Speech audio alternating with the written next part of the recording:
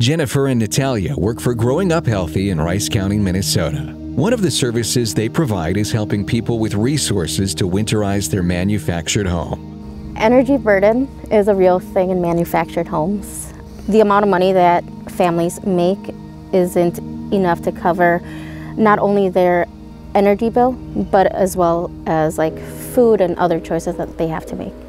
A lot of the work that we do is connecting community members to different resources and the resources can be in the field of education, housing, in this case energy.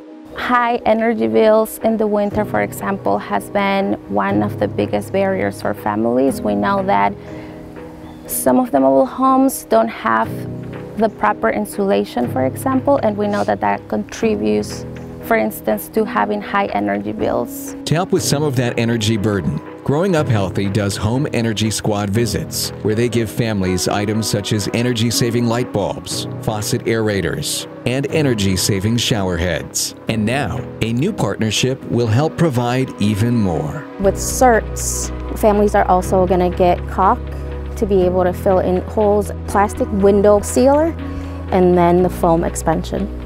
The reason I think that this is beneficial to a manufactured homeowner is because you can't always find somebody that is willing to work on a manufactured home or if you do it's really expensive. So to be able to empower these families it gives them the resources to be able to do this themselves and help neighbors.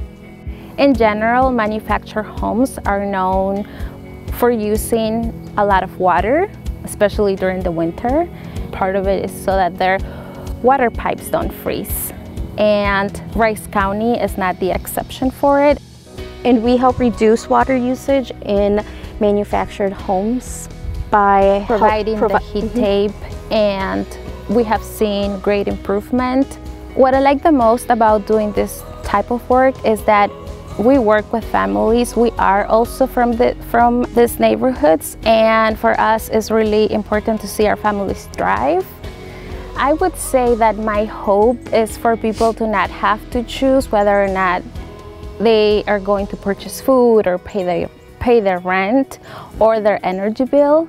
I hope that other communities also try to do sim a similar initiative, this seemed to work for us. I think because we were listening to community members, we were working with other um, agencies such as CERTS, Xcel Energy, the city. I think that a lot of positive can happen when we work in collaboration and when we hear the people from the community and what are some of their needs. I think we are all better off when we're all communicating with each other and working together.